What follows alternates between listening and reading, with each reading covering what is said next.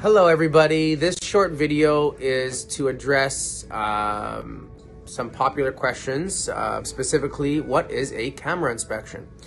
Um, again, I like to simplify and make things easy on the ears. So, very simple. Um, there are parts of the plumbing system that we cannot visibly inspect due to the fact that is out of sight. Uh, and the most common area is your underground drains, uh, your sanitary building drains, or as it exits the building, it's called the sanitary building sewers. Essentially, it's the large pipes under your house that collect all the sewage and waste from all your plumbing fixtures.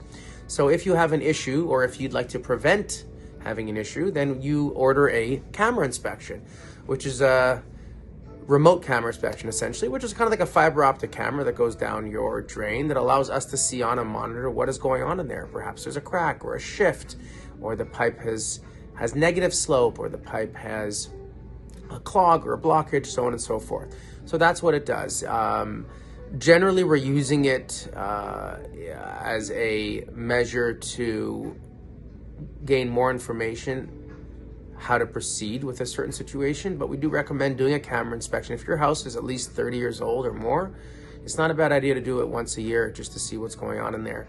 Uh, clogged drains and backed up sewer systems are quite a mess that can cause tens of thousands of dollars in damage, so you're better off getting a camera inspection done prior. Thank you very much. Give us a call. We'd love to help you out. We'd love to be there for you. Again, it's Rafi from Preferred Plumbing, 905 597 8555. Thank you.